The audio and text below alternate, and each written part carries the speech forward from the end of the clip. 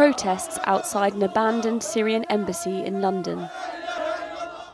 Controversial preacher Anjem Choudary leads a group of men, women, and children. All of them calling for jihad against the Assad regime. Anger sparked by fresh evidence this week that the Assad government killed over 1,000 people in a chemical weapons attack on the outskirts of Damascus. Our focus now has to be on getting the UN team into there.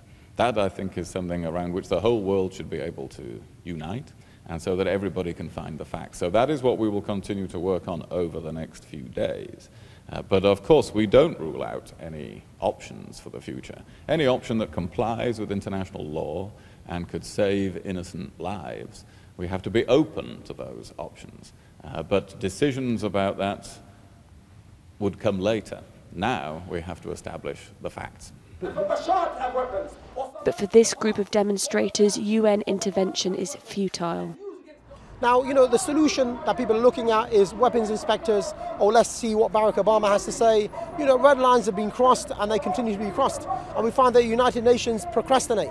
They don't really have an agenda. The only people who have a solution for this are the Muslims themselves. And the Muslims worldwide are one and a half billion. So our message today is no to the UN, no to the US, no to, uh, um, you know, Hafiz Assad and his son, of, sorry, uh, uh, Bashar al-Assad, and yes to Islam and the Muslims. The Muslims must rise, they must uh, participate in jihad to remove the regime and to put the authority in the hands of the Muslims so that they can implement the Sharia. As human suffering continues in Syria, calls at home and abroad for the international community to act grow stronger.